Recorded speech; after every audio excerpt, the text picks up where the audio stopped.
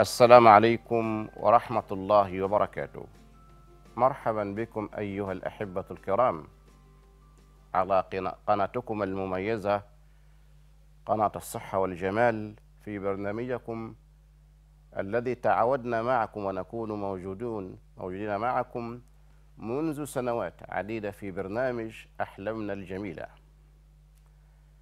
وهذا البرنامج يتكلم على رموز الرؤى والأحلام واستقبال رؤى السادة المشاهدين.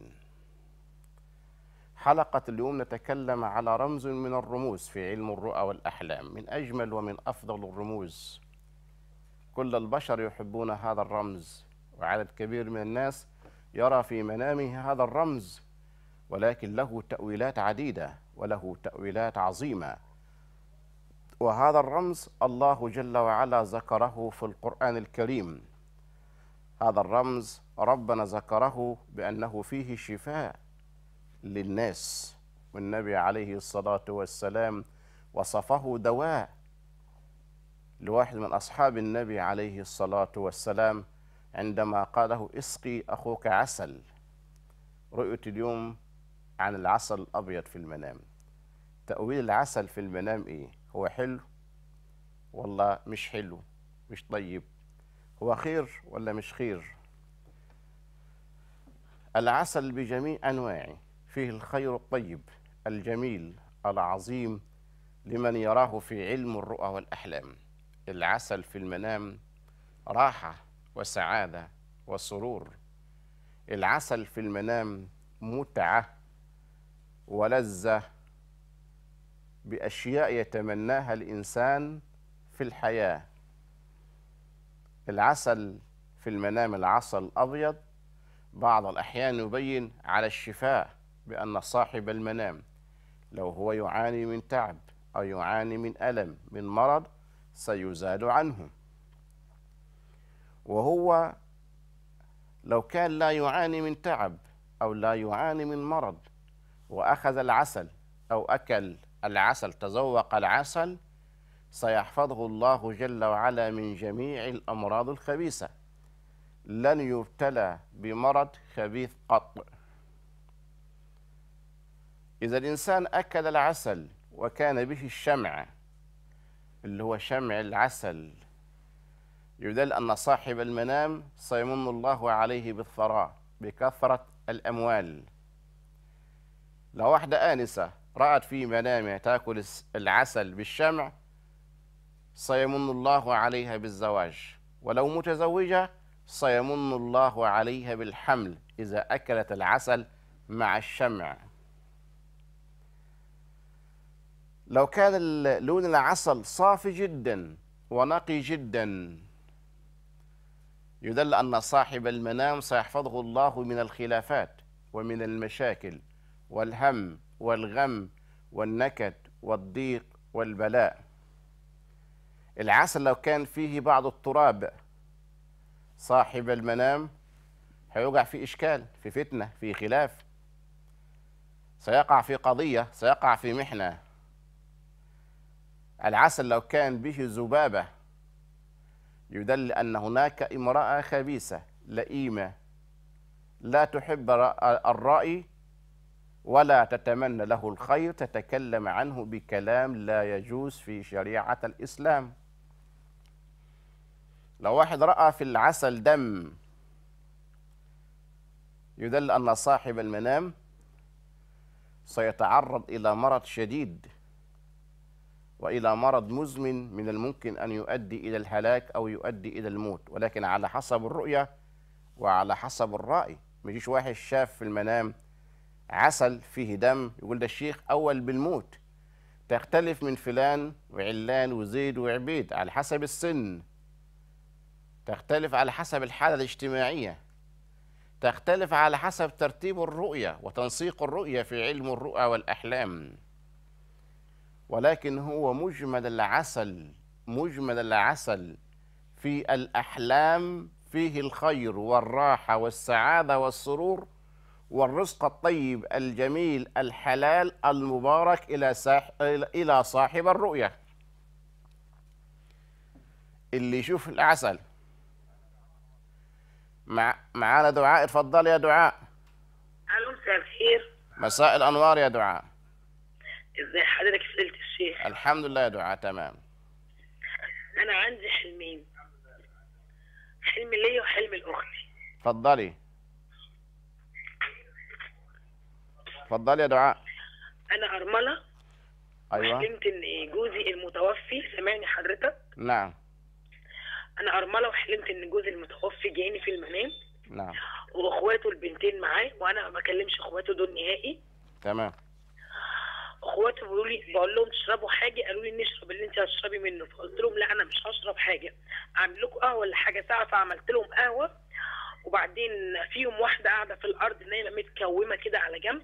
فأنا فضيت لها السرير وقلت لها اطلعي نامي هنا على السرير. ونيمتها على السرير. بس جوزي ما كانش بيكلمهم خالص في الحلم.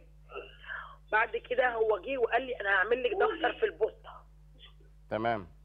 علشان هديكي فلوس. فقلت له لا أنت عارف أنا مش عايزة منك حاجة أنا بحبك وكفاية عليا أنت. وعمالين نحضن في بعض أنا وهو. فقال لي لا أنا هديكي فلوس هديكي فلوس واعمل لك دفتر في البوسطة. ده دفتر ب 5 جنيه. قلت له لا 5 جنيه ده كان زمان. المهم أنا حلمت لقيت نفسي مشيت رحت محل أشتري منه ملابس اشتريت فستان واشتريت حاجة مش معروفة مع الفستان. وتحت الفستان بروفل الفستان أبيض بس مش فستان فرح. تحتيه بروفل تركواز لقيت الفستان بقى مكان طويل وجميل لقيته قصير فقلت للبنت رجعهولي ده مش لايق عليا. البنت قالت لي آه ده شيفون. آه والشيفون مش لايق عليكي خالص. لقيت نفسي بعدي من مكان في الشارع يا شيخ زي في زي رصيف أو حاجة عاليه بس حاجة مش حلوة. وكنت هقع على تحت لقيت واحد مسك بإيدي وعداني وبس خلص المنام على كده. يا دعاء. نعم. انت في حد عمل لك مشاكل من أقارب الزوج؟ حقيقة فعلا. تمام. كلامك مظبوط 100% قولوا رؤية تانية يا دعاء. طيب ما قلتليش الحلم ده؟ خلاص أفسره لك يا دعاء. اولا يدل إن في حد عمل لك بعض المشاكل. وفي آه. حد افترى عليك كذب وبهتان وزور وتكلم عنك بكلام لا يجوز في شريعة الإسلام ولا منهج خير الأنام محمد عليه الصلاة والسلام. وتكلم بأشياء غير حقيقية غير موجودة في الواقع بالمرة. فعلا. الشيء الثاني موضوع إنك أنت الخمسة جنيه والدفتر وما شابه ذلك إن زوجك يحبك عليه رحمة الله وأنت تحبين زوجك.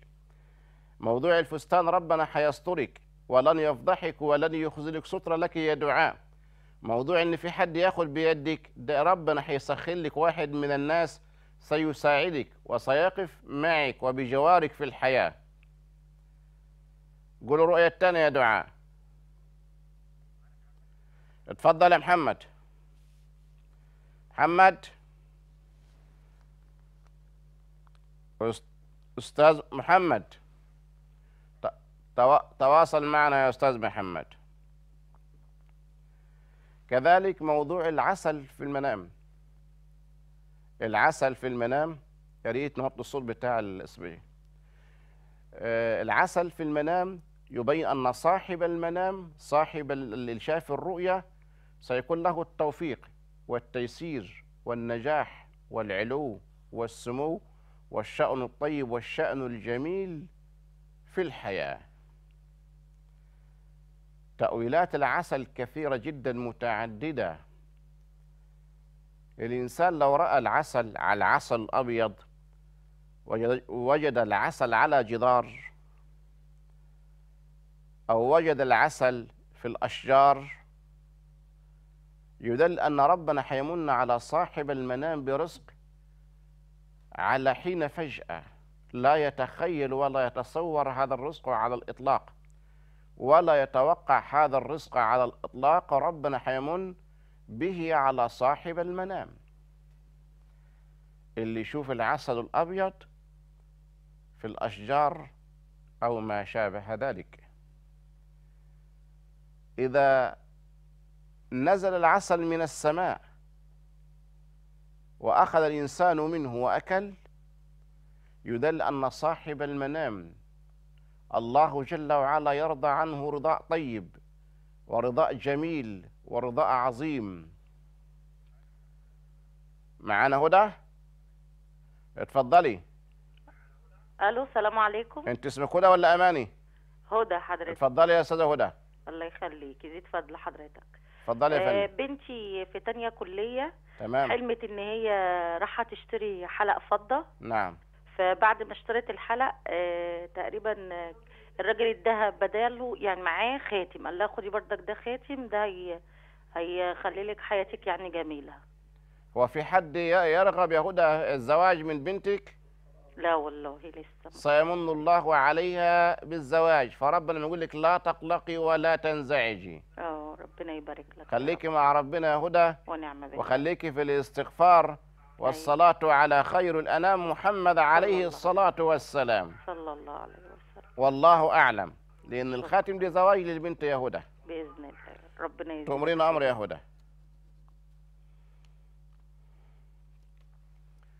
ال- العسل الأبيض في المنام. معنا إيمان؟ اتفضلي يا إيمان. تو- تواصلي معنا إيمان. اتفضلي يا أم محمد. أم محمد؟ ألو. أيوة اتفضلي. آه، أنا على طول عيال أنا شوف أنا على طول عيالي بيحلموا إن أنا على طول بموت أو حد بيذبحني يعني. حد حد مذبحك؟ آه وفي ناس بتلمح وراها عايزة تموتني. ده ده يا ريت كل يوم تشوف في المنام إن حد يذبحك. لأن الذبح في المنام ده عظيم جدا. ولكن برضه نرجع نقول على حسب الرؤية وعلى حسب الرأي. لأن الذبح ده كان على عهد سيدنا إبراهيم وسيدنا إسماعيل عليهما السلام. وربنا سبحانه وتعالى فدى سيدنا إبرا... إسماعيل بذبح عظيم.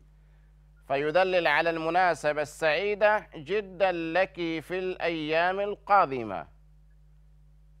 والله أعلم. لو واحد رأى في منامه العسل الأبيض وكان مدمن كان يعني يشرب مخدرات. يدل إن ربنا سيغير مجرى حياته للأحسن والأفضل والأجمل. وسيمتنع عن شرب المخدرات. وسيكون في تغيير في حياته. وسيمن الله عليه بالطاعة والقوة. والصحة والعافية. معانا أم حبيبة؟ أم حبيبة؟ السلام عليكم. وعليكم السلام ورحمة الله وبركاته. يا أم يا حبيبة؟ فندم سلام ألو فضيلة الشيخ. اتفضلي. اتفضلي يا أم حبيبة أنت على الهوا. أنا حلمت آه، ليا حلمين أنا وبنتي الصغيرة. تمام. آه، بنتي آه، حلمت إن هي كانت رايحة مصر وقاعدة في في شقة آه، كنا كانت ماشية في الشارع. ففوجئت آه، لقت واحدة كده قالت لي كانت جميلة قوي يا ماما. آه، فبتقول لي أنا لما شفتها فلقيتها بتضحك لي. آه، ولقيت واحد واقف وراها وعمال يضحك لي كده وبيبص لي وبيضحك لي وليه لحية بيضة كده. فبتقول لي هو انت ما انتش عارفة مين ده؟ قلت لها لا ما اناش عارفاه. قالت لي ده سيدنا محمد. صلى الله عليه وسلم. فقالت لي بعد كده يا ماما قام جاي ضحك لي كده واخدني معاه وقال لي تعالي معايا. وقام وخدني وخدني ورحنا شقة كبيرة قوي كده يا ماما. شقة فيها آه، خم آه، خمس أوض كبار قوي وصالة كبيرة. و- وحمامين اتنين ومطبخين اتنين هي بتحكي لي كده. وبعدين آه، بتقول لي كل الخمس أوض فيهم عشر سراير. وبعدين قال لها انت فهي بتقولي أنا شفت ناس كتير قوي كده معاه فبقول له مين دول؟ قال لي دي مراتي ودي أختي. ده الكلام ده زي ما هي قالت لي إن هو سيدنا محمد. صلى الله عليه وسلم. آه، وقالت لي ولقيت في نجا زي نجف كده كبير بس مش منور. بتقولي في سجاد جميل قوي يا ماما. فهي قاعدة بتحكي لي كده. أنا في نفس ال- اليوم وده هي ده بس حلمها. يا حبيبة. اليوم أنا حلمت يا أنا، حبيبة. إيه كان يا عندي حبيبة. أوضة كده زي بالبلد يعني زي غية حمام صغيرة كده ومليانة حمام أبيض. أولا بالنسبة لأم حبيبة رؤيا النبي عليه الصلاة والسلام من أفضل ومن أعظم ما يكون. فيها كل الخيرات وكل البركات وفيها المن والفضل والعطاء من رب البريات لابنتك. وابنتك ربنا حيمن عليها براحة وسعادة وسرور وحظ حيكون طيب وجميل سواء في أمور الدين رضا ربنا أو في أمور الدنيا. بس بنتك ستتعرض في يوم من الأيام إلى محنة عظيمة لموضوع العشر سراير.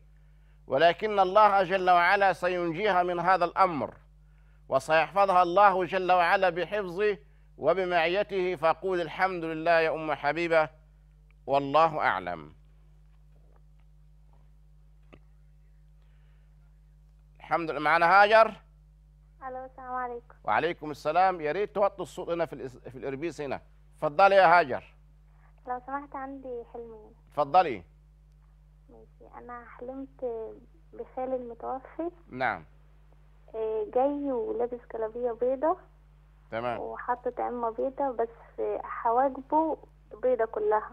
نعم. ووشه أبيض قوي وإيديه وبس إيديه يحس إن هي منفوخة كده وبيضة قوي. سلم عليا. وقعد شوية فبقول له اقعد يا خالي. قال لي لا خلاص أنا كده قعدت وهمشي. تمام. وبعدين راح مسلم عليا وراح ماشي. تمام. إيه، الرؤية التانية؟ يا هاجر. نعم. عشان ما انساش. خالق دي في راحة وفي سعادة وفي نعيم وفي مكانة عظيمة جدا عند رب العالمين. أبشر وقول الحمد لله. الحمد لله.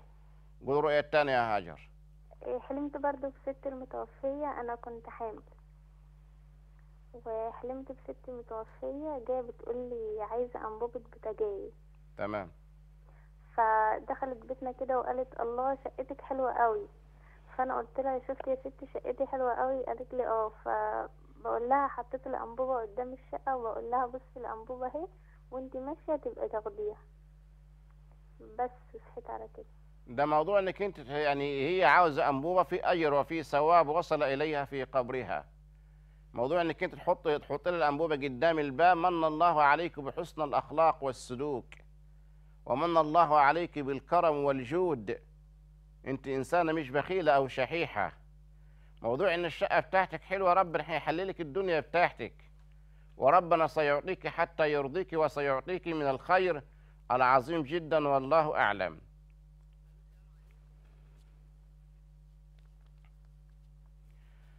نرجع للعسل الأبيض في المنام. بعض الأحيان العسل الأبيض يكون طول العمر إلى صاحب المنام. اللي شاف الرؤيا يكون عمره طويل يعيش عمرا كبيرا. والله أعلم.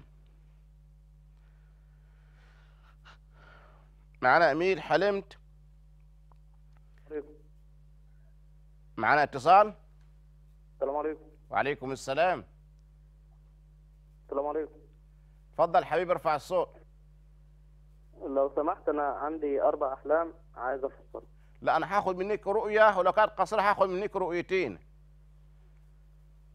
ألو؟ أيوه سامعك. هاخد منك رؤيتين لو كانوا قصيرين اتفضل طيب تمام. أنا أول حلم أنا كنت حلمت إن أنا في الأرض عندنا وبحصد في في قمح. تمام.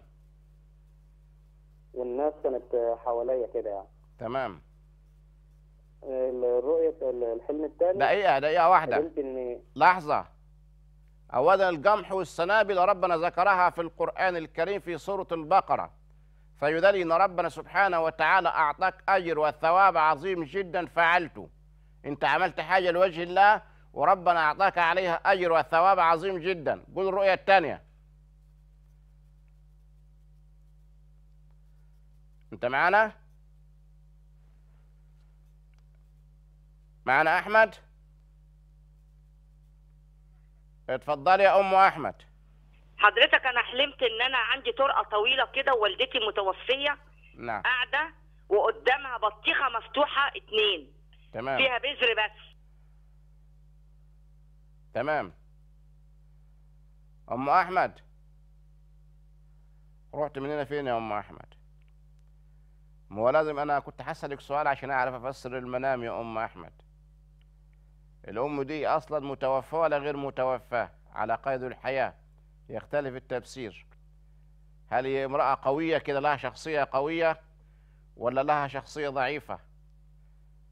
لأن البطيخ له ألف تأويل وله ألف تفسير على حسب الرؤية وعلى حسب الرأي وعلى حسب ترتيب وشخصية الرأي في الأحلام. أسأل أن هي كلها خير إن شاء الله. يا أم أحمد.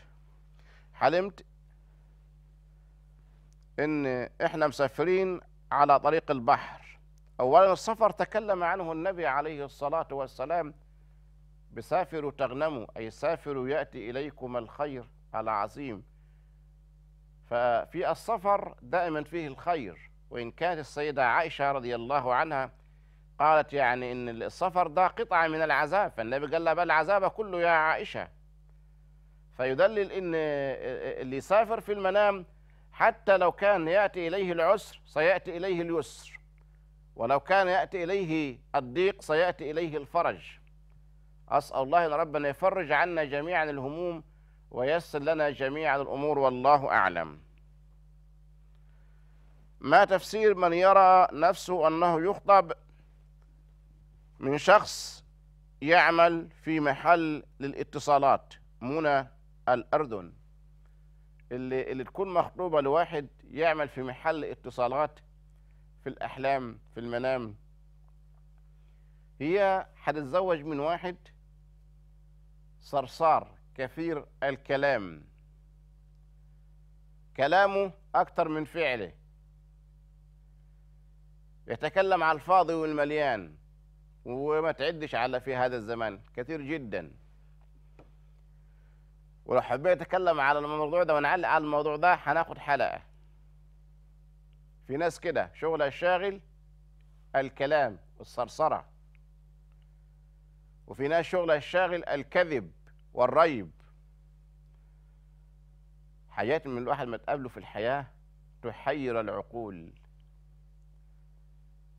تلقى الإنسان يكذب يكذب الكذبة والله ويصدقها. يكذب ويصدق الكلام اللي قاله. أسأل الله إن ربنا يحفظنا جميعا. معانا اتصال؟ في حد معانا؟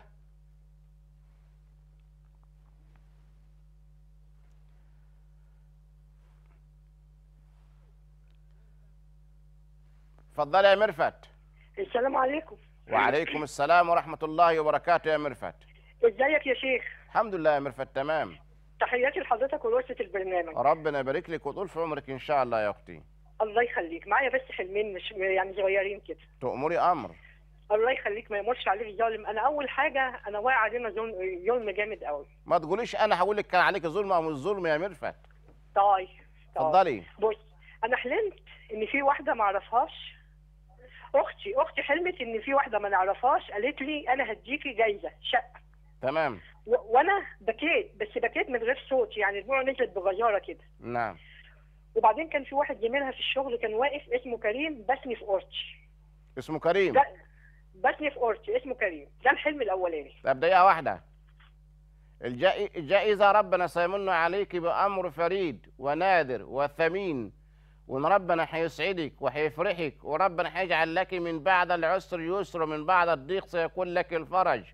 وكلمة كريم أنت إنسانة كريمة وإنسانة خيرة ونيرة وتحب الخير إلى كل البشر والله جل وعلا سيعطيك الخير. قول الرؤية الثانية أنت معانا؟ تواصل معنا إن شاء الله يا فندم.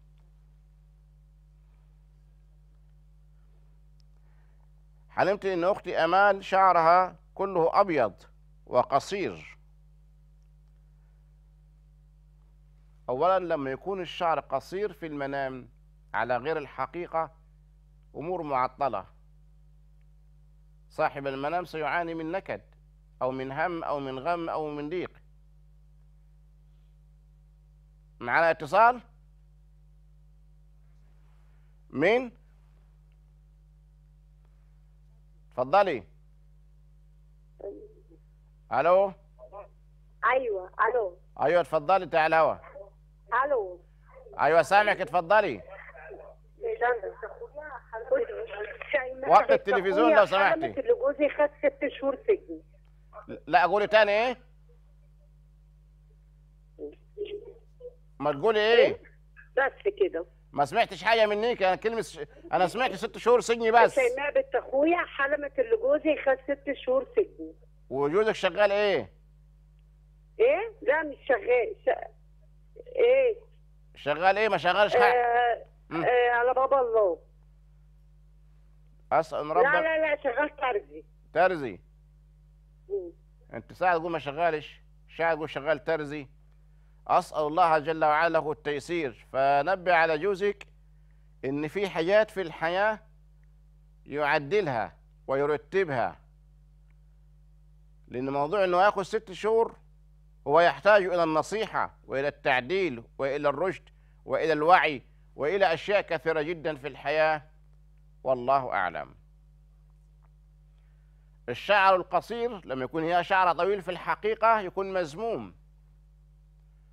والشعر الأبيض للمرأة نكد. وهم وغم وضيق وبلاء وتعب ومرض. إنما للرجل الشعر الأبيض وقار واحترام وطول عمر وأشياء كثيرة جدا للرجل. والله أعلم.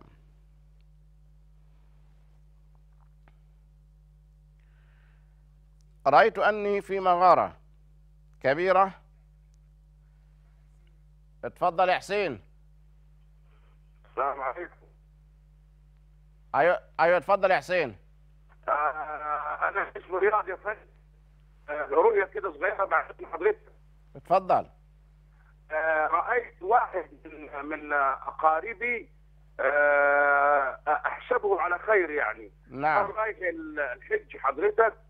وفي زفه في بيته وفرح والناس كلها لابسة أبيض. وهو يا فندم طلب مني حذائي آه اللي أنا لابسه أعزكم. وقال لي أرجوك اعطيني هذا الحذاء لأني أنا منتظر عاجبني جدا. في الحج وارجحه لك قلت له يا جدي هو جدي آه روح أنت الحج وارجع بالسلامة وأنا مش عايز الحذاء. قال لي لا هرجعه لك عشان الحذاء يكون لمس الأراضي المقدسة الطيبه الطاهره ويرجع لي خلاص أنا عايز الحذاء بتاعي ما ترجع. وهو حضرني وباسني وقال لي إن شاء الله هرجع وأرجع لك الحذاء وهو في فرح شديد وطرب وأهله. وأبنائه. هو في الحقيقة يعاني من تعب أو مرض؟ نعم حاليا هو مريض. بس كده. آه مريض يا فندم ويعني إيه راجل من الاتقياء الأنقياء نحسبه على خير بس هو ملوش علاقة ان هو تقي أو غير تقي ملوش. علاقة ان هو صالح أو طالح تمام ولذلك لو سألت أي واحد هيقول لك فرح هيقول لك سرور هيقول لك نكد ولكن تمام. المنام يبين أنه مريض ويعاني من آلام ويعاني نعم. من متاعب ويعاني من نكد ويعاني من. هم نعم عليك له بالدعاء وعليك نعم. له أنك تدعو له وأنت ساجد وأنت تصلي لله رب العالمين. الله كذلك افعل أسأل الله أسأل الله جل وعلا لك وله الحفاظة والمن والفضل والعطاء من رب العالمين لكما. والله أعلم. يعني أنت لو شفت الرؤية دي عدد كبير جدا يقول لك ده المنام ده خير بس هو مش خير. واحد يقول لك ده فرح ده سعادة. ده سرور ده حظ طيب وجميل ولكن الرؤيا فيها تعب والرؤيا فيها مرض. أسأل الله جل وعلا أن يحفظنا جميعا من الأمراض فقولوا الحمد لله. والله أعلم. من معانا؟ أم بشار اتفضلي يا أم بشار. أم بشار؟ اتفضلي يا أم بشار. السلام عليكم. وعليكم السلام ورحمة الله هو وبركاته. الصوت مش واضح يا شيخ عندي صوت واطي. والله وعندنا بس مش واضح والله يا مبشر. الحلم. أنا ابني طلع له خفاش جاله خفاش في المنام ومكتوب على إيده الشمال على دراعه الشمال أنت المطلوب مش هنسيبك. ماشي حضرتك اتفسرت لي حلم قبل كده وقلت لي خلي بالك من الولد دوت. ربنا يبارك لك يعني. تمام. بعد كده من ساعة ما حلم الحلم دوت أنا أنا مش سامعاك كويس حضرتك بس أنا هقول لك.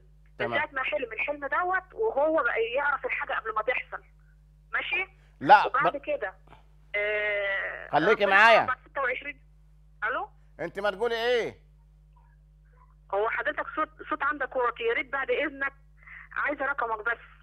عشان أحكي لك اللي حصل مع ابني إيه في موضوع الحلم دوت. تواصل مع الكنترول وسيب الرقم بتاعك وأنا هتصل بك شخصيا. سيب الرقم بتاعك في الكنترول وأنا هكلمك بعد الحلقة. يا ريت تاخدوا رقم مني يا جماعة. فبعض الأحيان أنت ممكن تشوف في المنام رؤية جميلة وتظن بأنها جميلة ولكن هي مش جميلة. أنت ممكن تشوف النبي عليه الصلاة والسلام مع أن رؤيا النبي في كل الحالات فيها الخير بس بعض بعض الأحيان مش هقول لك فيها السوء بعض الأحيان رؤيا النبي عليه الصلاة والسلام تأتي وتبين سوء صاحب المنام. إن صاحب المنام ده إنسان مش كويس. زي مرة واحد راح لابن سيرين فر... لابن سيرين فرحان وسعيد. وقال له والله أنا رأيت النبي. ماذا رأيت؟ النبي كيف رأيت النبي؟ قال له رأيت النبي ميت وغطيت النبي. النبي كان مكشوف أنا غطيته. قال لقد كتمت حق وشهدت زور لأن النبي حق. واللي غطى النبي دي مش كويس في علم الرؤى والأحلام. معانا اتصال؟ معانا اتفضل يا محمد. محمد؟ لو سمحت أنا عندي آه، ان أنا عايز اخد خط اتفضل يا محمد. أنا شفت حديد لكن عبارة عن سياخ في الأرض كتير وشفت الجيش. تمام. وشفت رؤية تاني إن إحنا كنا رايحين ندفن الميت لكن الميت ده ميت من زمان تمام. من فترة. لكن أبوه آه، ابنه قصدي آه، قال آه، أنا عارف يعني قال لي يا ريت أبويا ما كانش مات دلوقتي كان عاش شوية تاني. لكن الميت ده ميت من فترة من يجي آه، 20 سنة كده. تمام. بس ده اللي أنا شفته. الرؤية الأولى تدل إنك أنت عملت حاجة وربنا أعطاك عليها أجر وثواب عظيم جدا. الرؤية الثانية. بتاعت الميت تدل إنك أنت من أهل الحق ليس من أهل الباطل، يعني أنت إنسان محترم جدا من كل المقاييس. وأنت إنسان محبوب وإنسان مألوف، يحبك الكثير ويألفك الكثير من الناس. أسأل الله أسأل الله أن يحفظك وأن يصونك ويرعاك والله أعلم مين معانا؟ اتفضلي يا هناء ازيك يا شيخ إبراهيم؟ الحمد لله يا أستاذة هناء. زي الحمد كل سنة وحضرتك طيب؟ صحة وسلامة يا هناء. الحمد لله. أنا حلمت خير يا شيخ إبراهيم إن إحنا في شقتنا وبعدين أنا واقفة أنا وابن خالي في الحمام. تمام. بس كان عالي شوية وفي حيطة مفتوحة من الحمام وفيها الصندوق اللي هو بتاع التبرعات بتاع مسجد. تمام. وبنت خالتي اسمها رحاب ادتني فلوس أحطها فيه فأنا حطيت فيه الفلوس دي فضة وورق. تمام. وجنب الصندوق دوت يا إما ملابس أو ورد. فهي بتقول ابن خالي لما أنت عايز تتقدم لها وبتلمح لها. ما تمام. قلتليش ليه؟ قال لها أنا بلمح لها وما حدش ليه حاجة عندي يعني. أصل انت ما تعرفيش إحنا بالنسبة لبعض إيه. فقالت لي فأنا قلت لها أه فعلا انت ما تعرفيش إحنا بالنسبة لبعض إيه. راحت خرجت فأنا بوري له صاجات اللي هي بتاعه الرقص دي. فكان فيها جاز فأنا ما رضيتش يعني سكت وحطيتها تاني. وهو كان عنده في الحلم محل ورد كبير جدا وجميل جدا. وعمال ي- يوظف في الورد. فأخته قالت له إن أنت كل ما توظف في الورد بطريقتك الورد بيزيد جمال. وكان عنده ورد حلو جدا. بس وحلم وصحيت على كده. ده الحلم الأولاني. يا هناء نعم. أنت في إنسانة كارهة أو حاقدة أو حاسدة عليك يا هناء مش عارفة والله يا شيخ إبراهيم. الله أعلم. أسأل الله أن ربنا يحفظك ويصونك ويرعاك. اللهم آمين. لأن موضوع الورد في آخر المنام ربنا من عليك بعض النعم. في نعمة ربنا اداها لك مش موجودة عند حد يا هناء إيه هي؟ الله أعلم. ولكن للأسف الشديد في البداية هناك إنسانة كارهة وحاقدة وحاسدة وجاحدة عليك. أسأل الله أن يحفظك ويصونك ويرعاك والله أعلم. أم مين؟ أم, أم ألاء؟ أيوه يا شيخ السلام عليكم. وعليكم السلام ورحمة الله إزيك يا وبركاته. شيخ؟ حضرتك عامل إيه؟ الحمد لله يا أم ألاء. الله يخليك. تبقى تظهر يا شيخ كده في التلفزيون محتاجين حضرتك. والله قول يا رب. لو ربنا أذن يا. ام الاء هنظهر وربنا ما أذنش مش هنظهر يا ام الاء الله يخليك يا رب ويرحم أخوك يا رب الله يخليك. علي رحمة الله. عندي حلم لو حضرتك عايزه أقوله لك. أنا حلمت إن. مرات أخويا مرات أخويا لابسة فوق- لابسة عباية قصيرة فوق الركبه كالوش وعمالة ترقص. حتى هدومها على كتفها وعمالة ترقص. بقول لها إيه ده أنت بترقصي؟ رحت حدفها في الأرض وراحت مرمية في الأرض اختفت بعد كده. أنا هقول لك حاجة لأن في حياه أصلا شرعا لا يجوز يا أم الاء أن تذكر آه. على الشاشة على الهواء شرعا لا يجوز وحتى لو قلت لي آه. على التليفون على الخاص ما ينفعش أنا أقولها لك لأن دي أسرار آه. ناس أسرار بيوت آه. شرعا لا أيوة. يجوز بأي حال من الأحوال ذكرها ولا آه. سردها على الهواء ولكن لاقول لك حاجة واحدة بس أسأل الله أيوة. إن ربنا يبعد عنها النكد والهم والغم والضيق والبلاء بس كده والله أعلم من...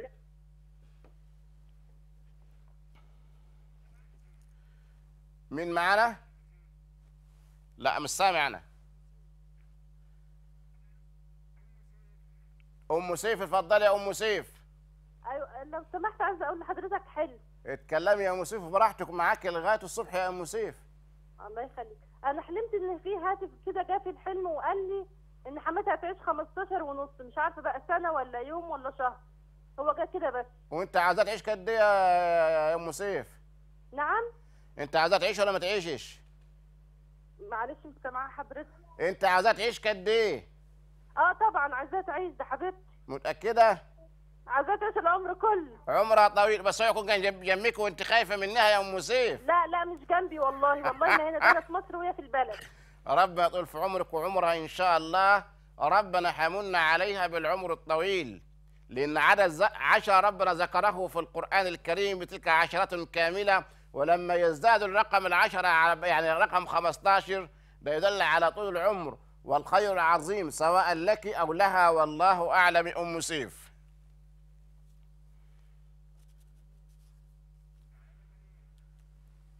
معانا منال؟ السلام عليكم يا شيخنا. وعليكم السلام ورحمة الله وبركاته يا منال. آه، لو سمحت يا عم الشيخ أنا حلمت مرة إن أنا قاعدة في القطر و- تمام. وقاعدة على الكرسي ورجلي مليانة كلها مية. والباب القطر مفتوح بس المية مش راضية تنزل. بس. يا منال. أيوه. أنت تعرضت قبل كده للظلم أو في حد ظلمك يا منال؟ في في. أسأل ربنا يحفظك ويصونك ويرعاك ده أنت تعرضت إلى ظلم يا منال وتخلي بالك أنت تعرضت لظلم مخفي محدش عارفه ابدا. ولذلك أقدم لك نصيحة يا منال على الهوى إنك أنت تحافظي على قراءة آية الكرسي في الصباح والمساء يا منال والله أعلم. طبيعة البشر كده.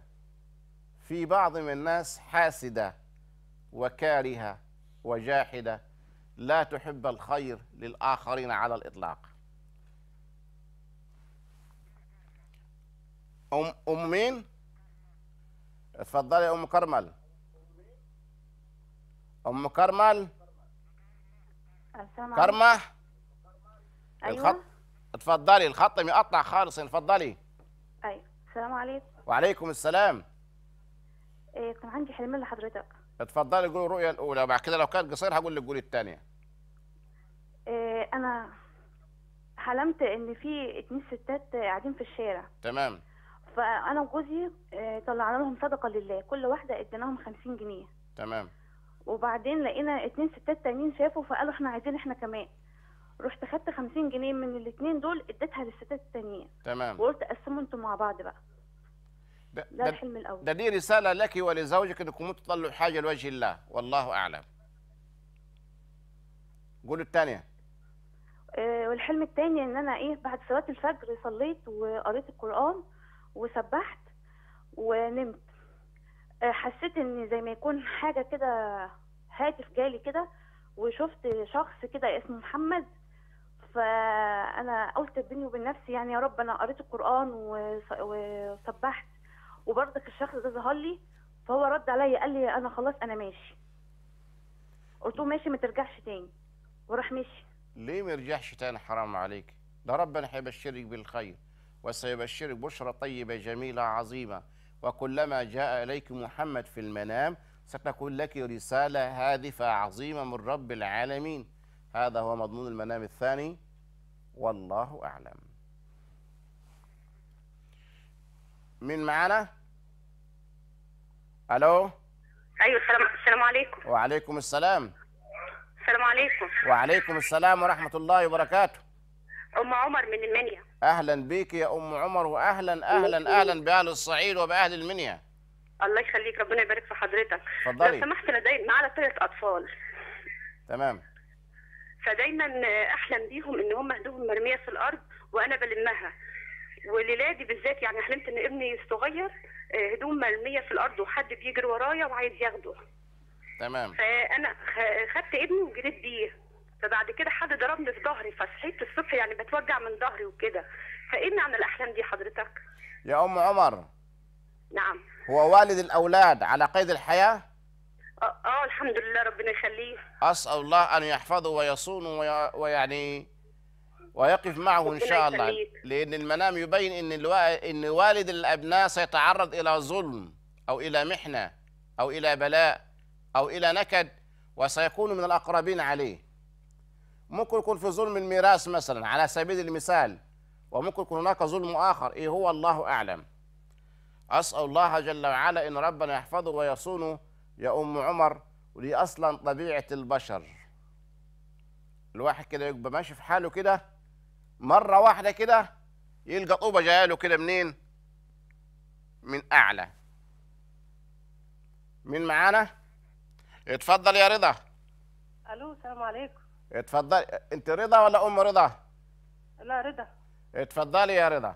لو سمحت أنا حلمت مرة ان أنا مت في القبر و... ولقيت نور داخل عليا كده. ألو؟ معاك يا رضا. لقيت نور داخل عليا كده فأنا متكفنة ومش باين غير وشي كده. فقبل ما يسألني السؤال فأنا جاوبت وقلت رضيت بالله ربا وبالإسلام دينا وسيدنا محمد صلى الله عليه وسلم نبيا صلى ورسولا الله عليه وسلم. فقام تمام سايبني وقام ضحك كده وقام ماشي. يا رضا. نعم. الأول أنت آنسة ولا متزوجة؟ لا أنا متزوجة ومعايا ثلاث أولاد. تمام. أنت بس لما عندي مشاكل كتيرة يعني في حياتي يعني. ما أنا كنت هسألك السؤال الثاني يا رضا. أيوة. حركة الرؤية. لأن الموت لك في هذه المنام يا رضا يعني نوع من أنواع المحنة. أنت وقعت في أمر من الأمور بس أنت ما عرفاش تخرج مني. أنت في حلقة م- مغلقة ولكن عايز تفك الحلقة دي ما أدراش. مغلوبة على أمرك يا رضا. أسأل الله جل وعلا لك بتفريج الهم وتيسير الأمر لك يا رضا والله أعلم. من معانا؟ أيوه. اتفضل يا محمود. ازيك يا فندم؟ الحمد لله حبيبي الغالي. لو سمحت أنا والدي متوفي في في الحقيقة. عليه رحمة وحلمت الله بيه وحلمت بيه امبارح. آه. آه، إن هو قاعد في قاعد في وسطنا. أنا وأخويا الكبير وأمي. تمام. وأنا الوحيد اللي شايفه. بقول لأمي وأخويا آه، أبويا قاعد قاعد جنبك أهو. هما مش شايفينه. فأنا دخلت عليه وقلت له إزيك يا- إزيك يا أبويا؟ عامل إيه؟ قال لي كويس. وشاور لي على سبحتين كانوا موجودين على على الكنبة عندي وقال لي هاتهم. تمام؟ فبعد ما اخدهم مني عطاهم لي تاني. اللي وقال هم لي خلي بالك منهم واختفى اللي هم إيه دول السبحتين سبح سبحه آه السبحه اللي بنسبح تمام بيها دي. تمام.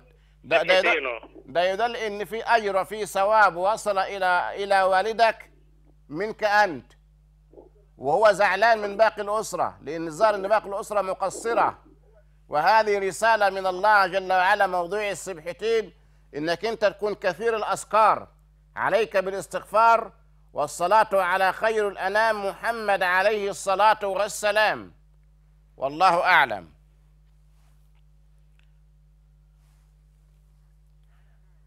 اتفضلي يا أمال. أمال؟ السلام عليكم. وعليكم السلام ورحمة الله وبركاته يا أم أمال. السلام عليكم. وعليكم السلام ورحمة الله وبركاته يا فندم. لو سمحت. اتفضلي. س- أنت على الهوا يا أم أمال.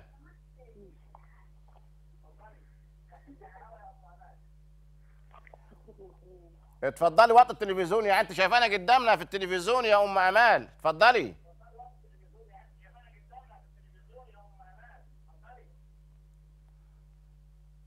يا أم أمال. تواصلي معنا يا أم أمال. براحتك. عاوز تكمل نكمل. عاوزنا نفصل نفصل. براحتك. أنا معاك لغاية الصبح يعني. لأن علم الأحلام ده من الأح... من الأشياء الطيبة. اللي احب اقوله لكم يعني الفائدة من علم الأحلام. عشان المخرج يقول لي نفصل ولا نكمل. أنا واعوذ بالله من كلمة أنا أعوذ بالله من هذه الكلمة ودي أصلا في الأصل إنك أنت تتخذ علم الرؤى والأحلام أو الاحلام دي دعوة. كيف دعوة يعني؟ تدعو إلى الله جل وعلا من خلال الأحلام. أي إنسان يتصل بك توجهه إلى الله. توجهه للنبي عليه الصلاة والسلام. توجهه إلى الطريق الصحيح. تفسير الأحلام يكون بالكتاب والسنة. تفسير الأحلام يكون بعيد بعيد بعيد عن البدع والخرافات والأباطيل وأمور الشعوذة. تفسير الأحلام ليس له علاقة بأي شيء آخر. تفسير الأحلام اتفضلي يا أم حمادة. ده المخرج رايق جدا النهارده. اتفضلي يا أم حمادة. السلام عليكم الشيخ وعليكم السلام ورحمة الله وبركاته أم حمادة. لو سمحت أنا عندي 56 سنة. ربنا يطول في عمرك وربنا يحفظك يا أم حمادة. الله يخليك. شفت امبارح والله أعلم يعني إن أنا يعني صغيرة وماشية وواحد ماشي ورايا. تمام. فأنا خايفة منه. فأنا إيه وأنا ماشية لقيت بيت خالتي. رحت داخلة فيه. خالتي. خالتي دي متوفية. نعم. وجوزها متوفي لقيتها قاعدة هي وولاد خالتي وجوزها. فانا دخلت وهو راح داخل ورايا. فهو دخل ورايا فهم بيبصوا له كده فبقول لها ده أنا خايفه منه. فبيقول لها إيه أنا ماشي وراها عايزة اتجوزها. تمام. فطبعا أنا خفت منه وما رضيتش أخرج ف وصحيت من النوم على كده. انت زوجك موجود يا أم حمادة؟ لا. ده المنام يبين إن ربنا من عليك بصفات طيبة جميلة عظيمة. وأنت محبوبة مألوفة يحبك الكثير. أسأل الله أن يحفظك ويصونك ويرعاكم. كنت معكم في برنامج أحلامنا الجميلة يتكلم على رموز الرؤى والأحلام. أسأل الله أن يحفظنا ويحفظكم جميعا ويحفظ مصر الحبيبة من البلاء والهم والغم والنكد. وأستودعكم الله والسلام عليكم ورحمة الله وبركاته.